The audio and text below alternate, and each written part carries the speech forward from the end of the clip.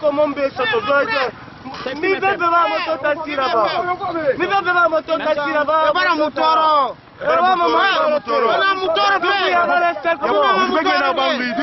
Certains conducteurs de taxi-moto ont investi les rues de Kaloum dans la matinée de ce mardi. En cause, un communiqué du ministère des Transports interdisant la circulation des taxis-motos dans la commune de Kaloum. Pour se faire entendre, ils ont monté des barricades sur l'autoroute à plusieurs niveaux, perturbant la circulation à Koléa, la Sigmadina, jusqu'au marché de Madina.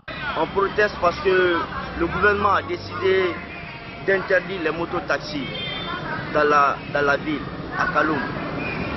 On a fini les études, on a les diplômes à la maison, il n'y a pas de recrutement, il n'y a rien. Le seul moyen, le seul moyen qu'on a, c'est les motos là. Ils n'ont qu'à nous laisser, on est prêt pour des dispositifs. Deux casques, on est prêt à le faire. Peindre la moto en jaune, on est prêt à le faire. Mais interdire les motos taxis à Kaloum, on est contre ça. Avant l'arrivée de la police, venir rétablir l'ordre et interpeller quelques manifestants. À la différence des autres, ce jeune n'a pas pu s'échapper. Il passera un mauvais quart d'heure.